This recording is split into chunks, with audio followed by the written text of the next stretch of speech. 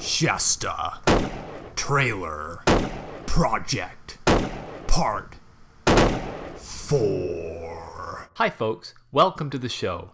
In the last episode, I drew a life size picture of a wall that needs to be rebuilt on my 1973 Shasta trailer, and today I'm going to use that picture as a pattern to hopefully bring that wall into reality. I'm not really sure where to start the wall framing, but I think this front bottom corner is as good a place as any. So I'll take off this board right here, make a copy of it, and attach it to my new wall panels. I'm sorry, brother. Somebody has to go first. 18 degrees. I'm 18. Not really. Okay, this is exciting. My first piece of new wall framing.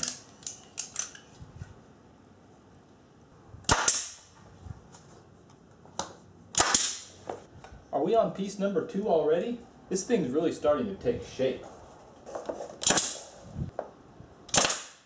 Take a piece, give a piece. I'm making some progress. I'm working on the top of the trailer now. I'll call it the crest of the trailer. It was originally constructed with two pieces of this three quarter inch by three quarter inch lumber stacked on top of one another. This piece, as you can see, is still good and I've started attaching it to the panels. The other piece had a big crack right here in the middle of it and it just looks like it has some water damage and it isn't in good shape. So this is going into the garbage, but to replace it I'm going to use some of this material that I ripped down. It's Douglas fir, three quarter inch by three quarter inch material. And instead of just putting one more strip down here, I'm gonna go for broke and stack two more on top of one another to give it a little more strength. Now this top piece that I've started attaching to the panels is going on really nicely because it already has the natural curve of the trailer from 40 years of settling in place. However, these pieces that I just cut are still wild. I haven't pushed them into shape yet. And it's going to take a little bit of pressure to push them into the necessary curve. I'm going to use this top rail as a guide for these new lower rails and to keep it in place I've attached a few pieces of scrap lumber to the plywood above. So I'll finish nailing off this top rail and attaching the braces above it and then I'll work on pushing these two lower sticks into shape. I've got this top rail in place and the next strip cut to fit. Now I'll just apply a little bit of glue and see if I can't push it into shape.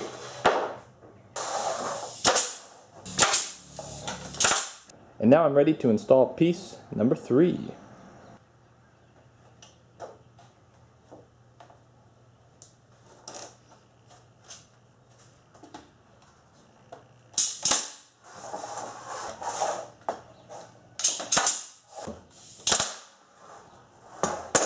And that's how you make a homemade laminated beam. I'm taking my time, working in baby steps as it were, but I am slowly framing out this wall. I'm using both new lumber and some of the original wood that's still in good condition. The design for this wall is similar but not identical to the factory wall. Mainly I've changed the positioning of the plywood panels in relation to the framing. In the original design, the first piece of plywood started right here at the back of the trailer and then terminated about right here at 4 feet in. Then the next piece of plywood started here and stopped at the door frame. Above the door frame there was just a single small piece of plywood and then a third piece of plywood went from this side of the door frame to the front of the trailer. This was a good idea because it only used three sheets of plywood and when you're manufacturing trailers the less materials you can use the better, but it was very bad for the structural integrity of the wall, specifically over this door, because there was very little shear strength right here. You can see evidence of this on this top piece of siding because there are cracks on each side of the door frame. In the new, improved, revised Jenny's Garage design, I'm going to try to eliminate this problem. Instead of having a piece of plywood terminate right here, I'm going to have a single piece of plywood start on this side of the door, go all the way over the top, and end on the other side of the door, giving this area much more strength. Although this new design is much stronger than the original, there are a couple of disadvantages. I have more seams in the plywood now. I have one here, one here, and one here, and I also need to use an extra sheet. However, the advantage of a much sturdier header area over the top of the door greatly outweighs these negatives. Have you ever built a house out of popsicle sticks? Have you ever, baby, spent all afternoon working on a trailer? Have you ever felt like your life was just staples and liquid nails. Have you ever wondered, am I still on track or did I run off the rails? Well, now I finished framing the front part of the trailer and now I'm moving on to the back, so you might say I've made it past the front door.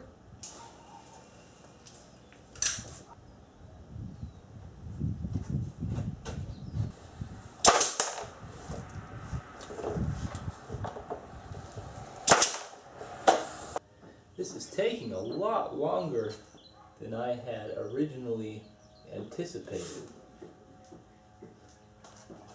I'm glad this isn't a 40 foot trailer. I'm walking a fine line with these staples.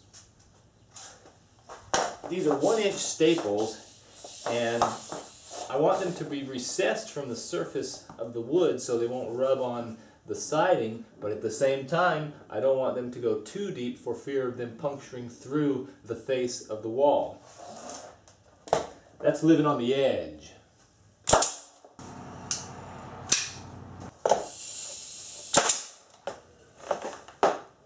Sometimes I feel like my mood depends on my frame of reference.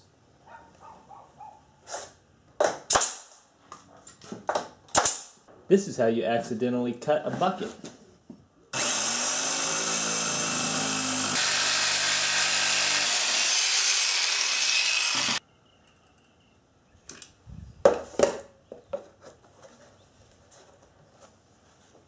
It's been an experience I won't soon forget, but I've finished framing this wall.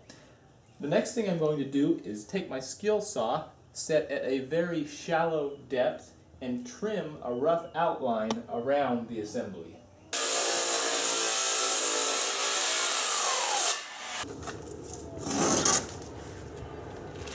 Say, Jenny's Garage, how are you going to know where to cut it once you flip it over? For that, you're going to have to just wait to be amazed. Wow!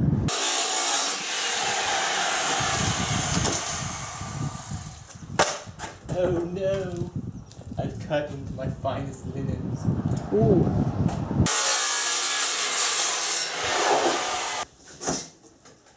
At this time I can remove my little helper cleats.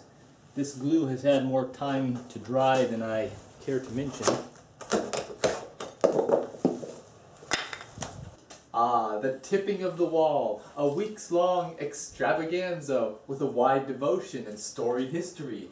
Prepare to be treated to a cornucopia of song, spirit, and overall merriment.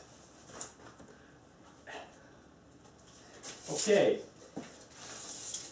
so we need to flip this panel to access the other side. My measurements say seven feet tall.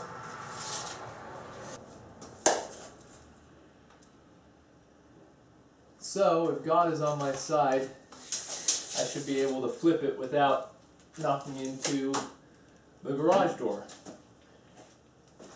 You ready to give this a try? Yeah.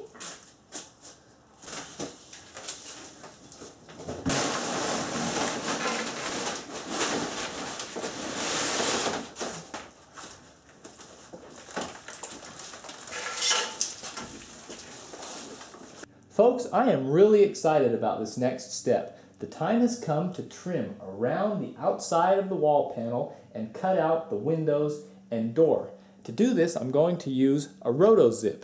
This is a tool that I don't often have the opportunity to use. In fact, I don't even own a RotoZip. This one was graciously lent to me by dear old dad.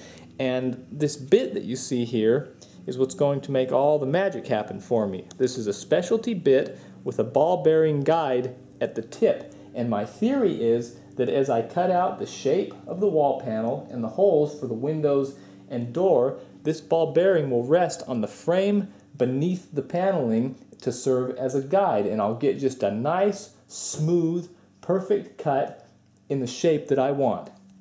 That's the idea anyway. We'll see how it works in practice. Let me give you a piece of helpful advice. I always like to buy my wall roasts untrimmed. It's cheaper by the pound, tastes great on the grill or out of the oven, and I can give the scraps to all the little critters. Let's see how this thing works.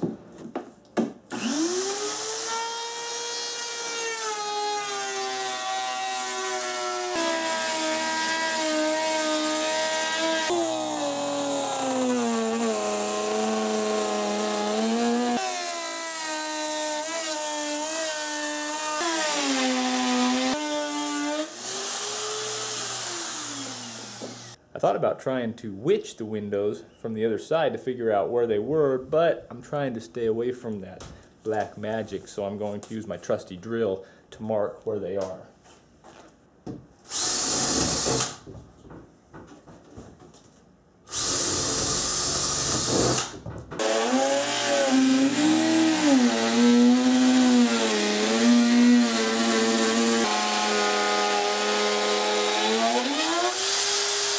Forgive me for saying so, but I don't think this looks half bad. Three eighths bad? Probably, but definitely not half bad.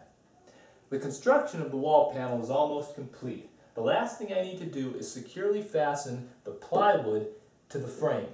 The only thing that's holding the plywood panels to the frame underneath at this point is Liquid Nails construction adhesive and the one inch staples that we drove through the frame from the other side. While this connection is strong enough for the wall to hold its shape here in the workshop, there's no way it will withstand the everyday rigors and stress of life out on the highway. To give this wall that extra strength that it needs, I've acquired some 3 quarter inch length, brass plated, tapered head, self-tapping wood screws. And what I'll do is place these screws around the whole perimeter of this wall as well as along all of the vertical studs that run throughout the wall. This will tie the plywood securely to the frame. It will give the wall a lot of shear strength and it should be able to easily handle whatever adventures I throw at this camper. So let's get to screwing! A lovely summer night, spending time with people I love, the crickets chirping in the moonlight, cool breeze, all is quiet, a lovely evening for fastening.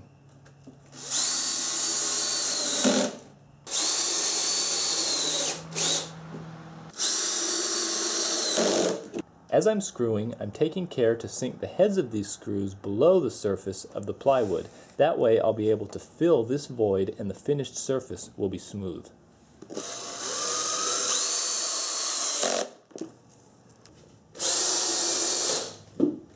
That is the last screw.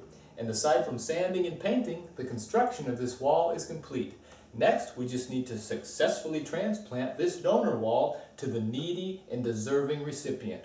I need to gather my thoughts and courage a little bit before attempting that procedure, which will be featured in the next episode. Thanks for watching.